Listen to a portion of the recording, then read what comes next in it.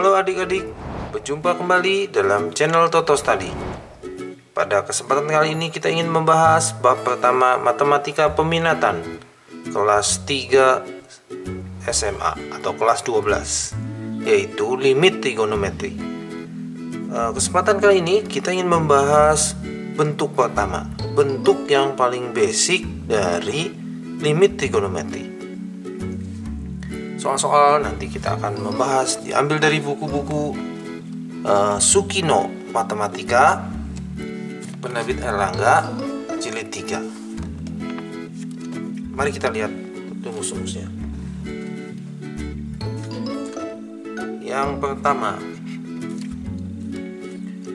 limit x menuju 0 sin x per x boleh juga limit X menuju 0 X per sin X. Itu jawabannya 1 yang kedua limit X menuju 0 tan X per X.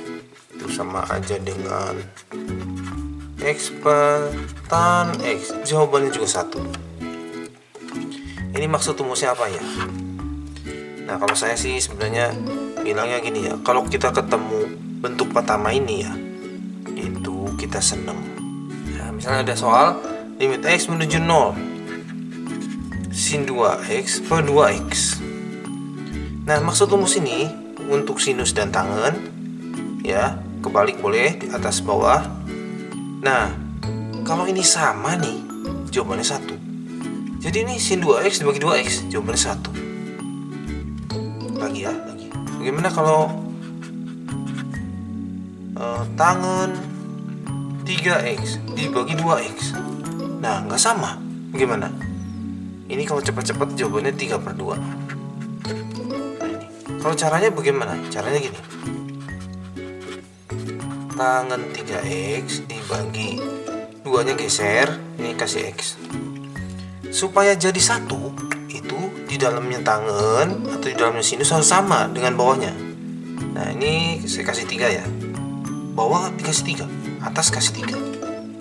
Sampai sini yang ini urusan selesai jadi satu. Jadi tiga per dua kali satu tiga per dua. Bagaimana? Kalau soal PG langsung saja. Ya? Oke bisa ya? Nah sekarang bagaimana kalau sinus dan tangan campur-campur? Jadi maksudnya gini limit x menuju 0 ada sin X dibagi tan X. Nah itu juga kebalik juga boleh ya. Nah itu juga jawabannya satu. Kita lihat ya contoh soalnya ya. Jadi kita sudah lihat yang ini sudah lihat yang ini sekarang contoh soal ketiga. Bagaimana kalau limit X menuju 0 sin 5X dibagi tan 7X kalau cepat-cepat ini jawabannya 5 per 7 kalau cara gimana? Limit X menuju 0 Sin 5X geser-geser. Tan 7X Oke. Supaya jadi satu. Si sinus itu perlu 5X Bawah dikasih 5X Kalau gitu atas kasih 5X Nah ini urusan selesai. Ini jadi satu. Sekarang yang tangan 7X Harus ada pasangannya. Kasih 7X Kalau gitu bawah juga kasih 7X dong Nah, ini urusan selesai jadi satu. Kalau gitu jadi 5x per 7x. X-nya coret. 5 per 7.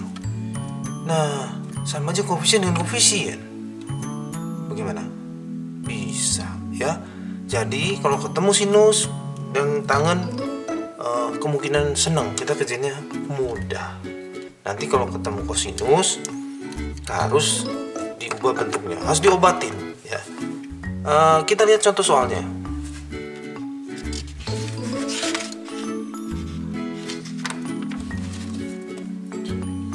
Baiklah, kita mau lihat uh, matematika ini uh, di halaman 12 ya. Nomor 1. Uh, limit x menuju 0 sin 2x dibagi sin 6x. X menuju 0 sin 2x dibagi sin 6x kalau cepat-cepat jawabannya bagaimana? 2 sama 6 2 per 6 1 per 3 Selesai. Dipilih Yang B. Nomor 2 Nah yang nomor 2 sudah tantangan Limit X menuju 0 Sin 7X ditambah Tan 3X dikurang. Sin 5X dibagi. Tan 9x dikurang. Tan 3x dikurang. Sin 5x oke. Nah ini caranya begini. Ini atas bawah ya kita bagi x atau kali sepel x tujuannya supaya berpasangan ya. Kalau berpasangan itu kan jawabannya jadi mudah gitu. Per x ditambah tan 3x per x. Dikurang sin 5x per x. Ini per panjang ya. Tan 9x per x. Tan 3x per x sin 5x per x. X menuju 0 oke sekarang berikutnya. Sin 7x dibagi x.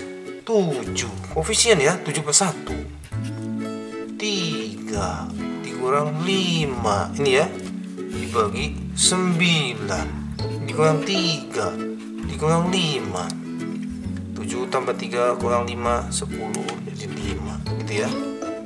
Lalu 9 kurang oh ya 5 dipilih nomor 25 yang C.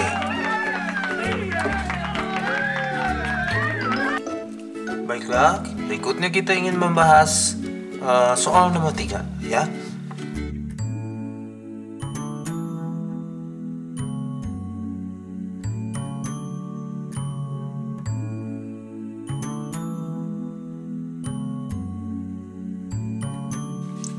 Oke, mari kita lihat soal ini. Uh, ini pangkat tiga, ini pangkat tiga. Kalau gitu ya sebenarnya kan bisa ya. Pangkat tiganya di luar aja. Lalu ini sin 2x dibagi tan setengah x. Lalu kalau dengan cara cepat, ini sin sama tan kan senang, baik hati. Itu koefisien dibagi koefisien. Jadi itu jawabannya. 2 dibagi setengah pangkat 3 2 dibagi setengah bagaimana? 2 dikali 2 per 1 dibagi itu dikali terbalik jadi 4 pangkat 3 4 pangkat 3 itu 64 dipilih coba oh uh, dia bentuknya 64 itu 2 pangkat 6 coba itu Oke berikutnya kita mau lihat nomor 4 Nomor 4 Nah ini Ingat kita mau mencari pasangan buat sinusnya? Nah itu sebenarnya Sin X gitu ya. Tapi tidak boleh. Ini ada tambah. Oh ya nggak apa-apa. Menuju 0 kita faktorkan X keluar 2x tambah 1 gimana? Ya ini 2x kuadrat x keluar tinggal segini x nya juga. Kalau dicek lagi kali kali. Betul. Dibagi sin x. Lalu x dibagi sin x kan satu. kalau gitu jawaban akhir dua dikali nol tambah satu ya. 0 nya masuk ke x kalau gitu dua kali nol ya 0 tambah satu. 1 bisa? Lima. 65 ya 65 juga menarik. Nomor 5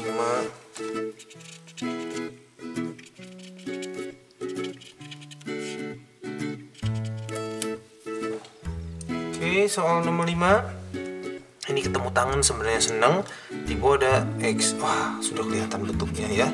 Kalau gurunya minta jalan.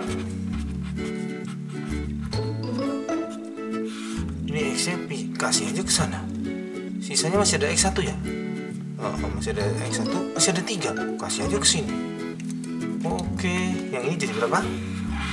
Itu jadi dua ya. Koefisien bagi koefisien. Kalau tangan sama sinus boleh ya. Ini bagaimana? Itu jadi satu atau tiga bagi tiga ya. Selesai nomor lima. Berikutnya sepertinya soal nomor 6 juga bagus. Kita coba ya nomor 6 dan nomor 7 ya.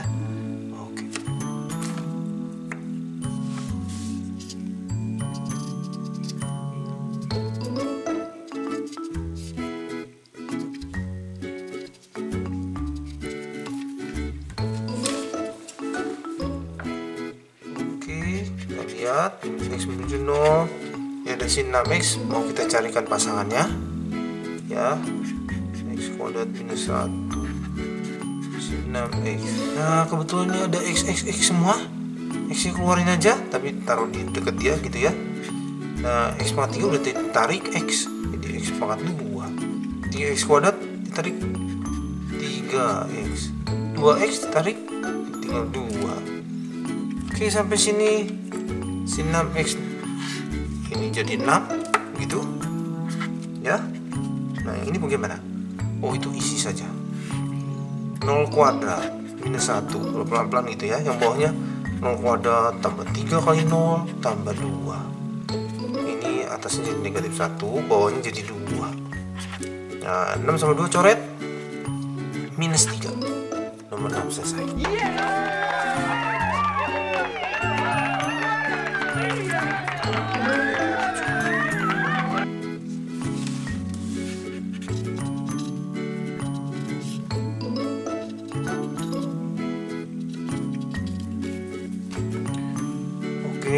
kelihatannya bentuknya oh, menyeramkan gitu ya. Nah, tapi gini, uh, kita kan yang penting sinusnya ya.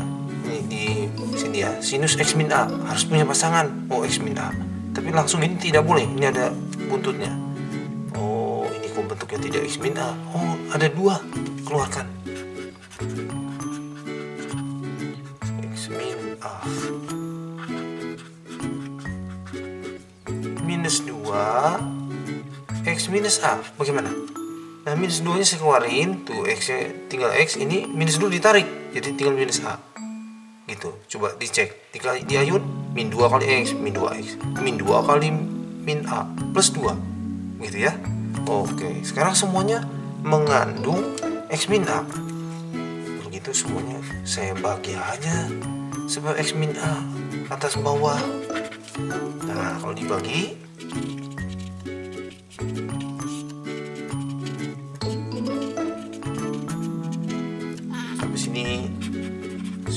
kelihatan bentuk dia. Ini jadi apa? Ini jadi satu. Ini juga jadi satu. Ini juga jadi satu. Ya, jadi satu dibagi satu minus dua kali satu. Gitu. Ya, jadi coba satu dibagi min satu ya negatif satu selesai cukup pertemuan untuk kali ini bentuk-bentuk uh, dasar limit trigonometri uh, sudah kita pelajari. Berjumpa kembali di kesempatan berikutnya. Jika ada pertanyaan atau request silakan di kolom komentar. Uh, kesempatan berikutnya kita akan bahas soal-soal yang lain. Sampai berjumpa